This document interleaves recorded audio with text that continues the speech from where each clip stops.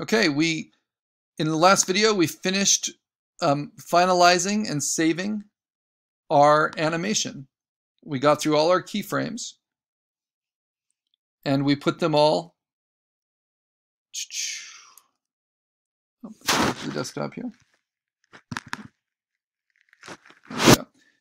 We organized them all into assignment five. We have our PSD file, which you see here, which gives us all the assets and tools to build every keyframe. And then we saved our individual keyframes as JPEG separately. My finished animation ended up taking 20 keyframes.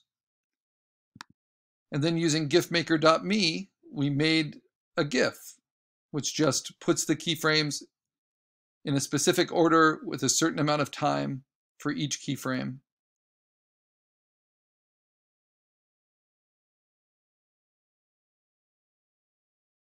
And it looks a little choppy. This is, I think, two frames per second, 500 milliseconds per frame. But it works, it tells the story.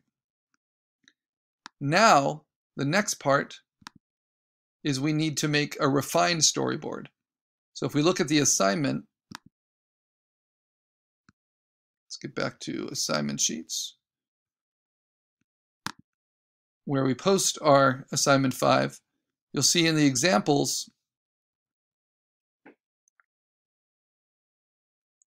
we have our rough storyboard, we have our final animation, but we also need to have a refined storyboard so that you can include it, all this work in a print portfolio.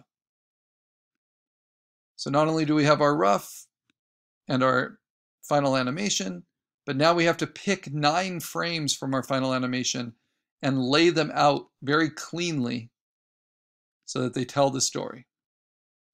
So for that, I go to my keyframes and I want to identify what I think is the middle, the center moment of my animation. And using your sketch is a good a good uh, guiding principle for this because this kind of tells the story like a comic book. But I have a few panels that are very similar to my middle frame. So I want to pick the one that I think kind of sells it the best. And I'm going to pick number five here because the clouds are kind of darkest there. So I'm going to indicate that one. I'm going to open that up in Photopea. So I can close, I've already saved the PSD. Now I'm going to open from my computer, from my keyframes, the one that I think will be in the middle of my refined storyboard. Now, I'm just noticing right here, I have that little part that needs to be cut off. Because this is for print, not just screen resolution, you want this to be really clean. So I'm going to hold down shift and I'm going to crop it.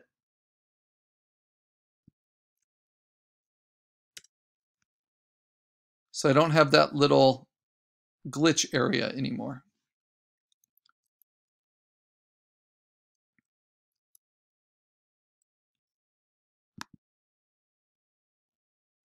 showing you cropping it down so it's nice and clean because I want a clean square. Okay, now I can grow the space around this image. So what I want to do is grow enough paper around it so I can fit my other keyframes. But first I'm going to use my, my uh, move tool and my ruler guides to put a guide on each side of this cropped image.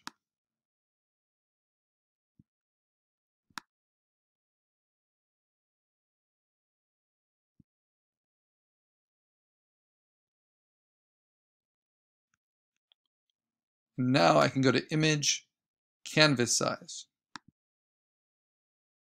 And what I'm going to do is grow it from the middle. And right now, because I cropped it, it's a really weird size.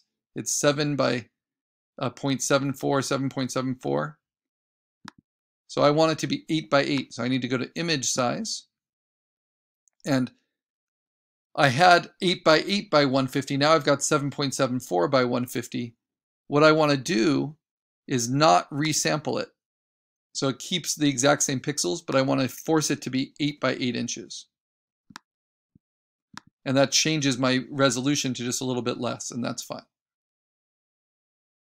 Okay, but now when I go to canvas size, it is 8 by 8 inches, or very, very close. It's a little annoying that it's 8.01. Let's see if I can fix that in image size. Probably not just because of the dots per inch.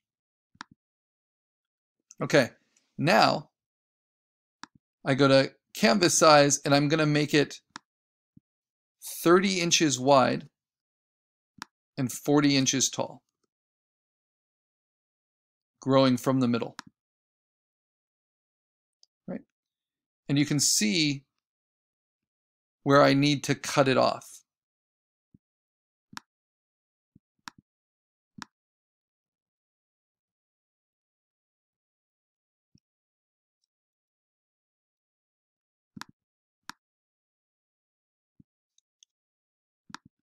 Because this is the refined storyboard is all about laying it out and making it a clean presentation.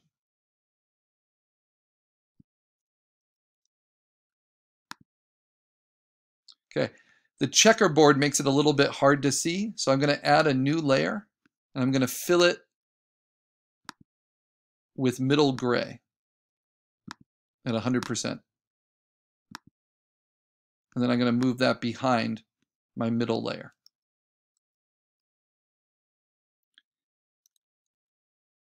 Now using your rulers, you can see the pixel dimensions here.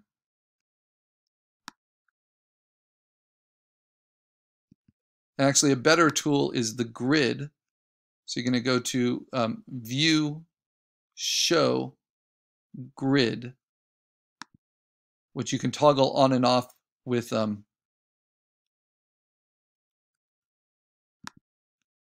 with Command apostrophe.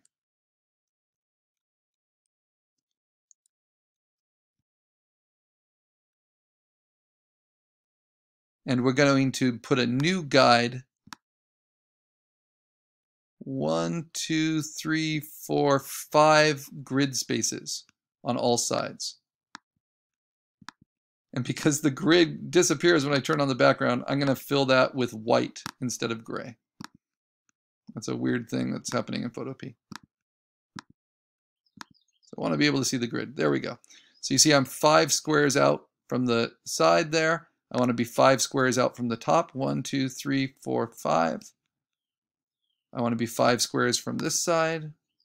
One, two, three, four, five. And five squares from the bottom. One, two, three, four, five.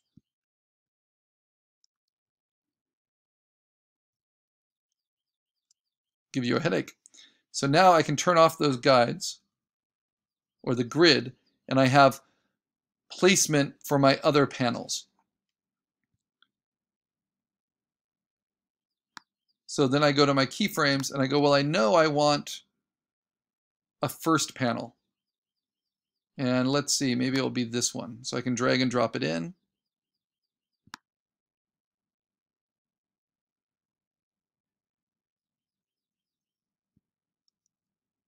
And I have to do kind of the extra step of cropping it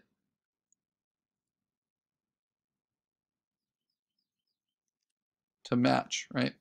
So I bring it in, I rasterize it. And you won't have to do that because you wouldn't, unless you have a little glitch on the side of your animation like I did.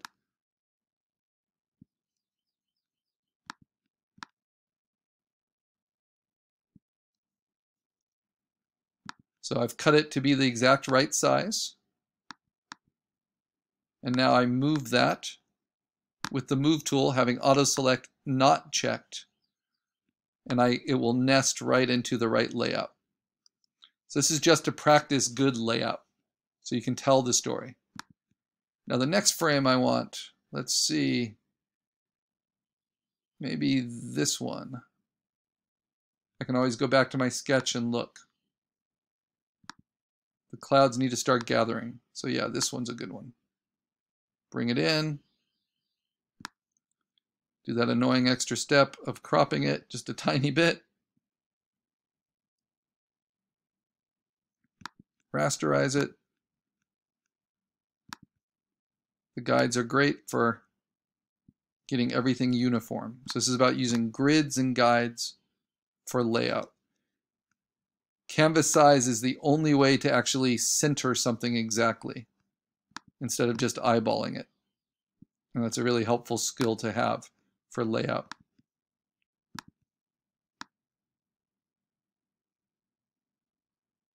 There we go. So already we see a pretty big shift starting to, to happen. So then I think I want this one.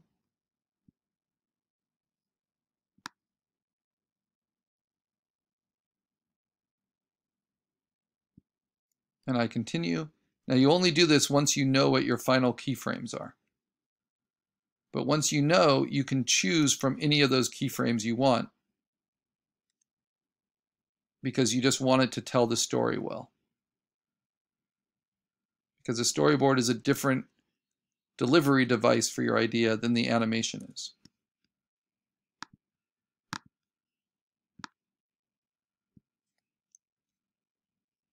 I have to rasterize it before I can trim it.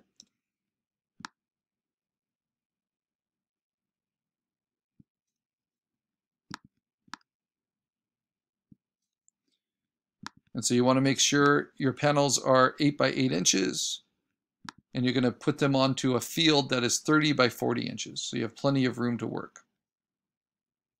Then you use the guides with five of the grid squares in between. These are the gutters, and that will give you perfect layout.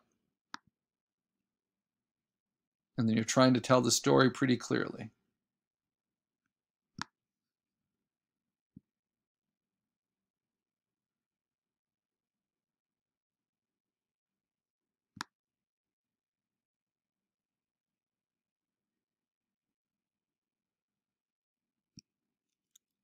And you can use your arrow keys to just nudge, move them just very slight amounts. So this is laying out your refined storyboard. Paying a lot of attention to how things line up. This is kind of the technical part. And when it's all nice and clean, it gives a good print rendition of your animation. And you'll discover stuff about it. So that builds up pretty darn quickly. But I think that works. Because I stay there for a while anyway. So now maybe I'll take number seven and push it in. Where the ice looks a little bit more solid. Right? And maybe I'll decide to, to swap this one with, yeah, like 4C instead.